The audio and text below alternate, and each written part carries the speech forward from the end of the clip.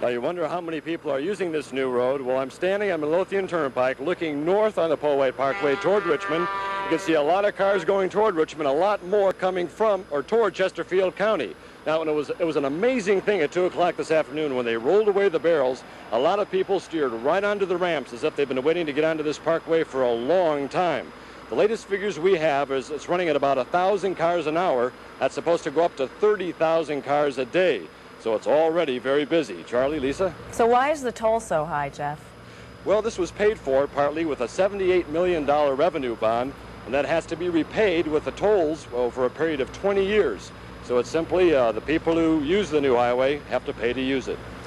Jeff, I can hardly wait to use this thing getting home tonight. And I wanted to ask you, we talked a little bit earlier, this is a completely different perspective for a metropolitan highway. It does not look like Midlothian Turnpike driving out there, does it? No, it doesn't at all. The landscaping on the sides, the trees you pass by on the way home, everything is arranged beautifully. It's really a beautiful stretch of road. So the dollar value seems to be here. Uh, if, if you don't mind paying the tolls, it's a beautiful road to drive. All right, thank you very much, Jeff. Charlie Thanks, has Jeff. 45 extra minutes a day now. Got a whole bag full of dimes to get up and down.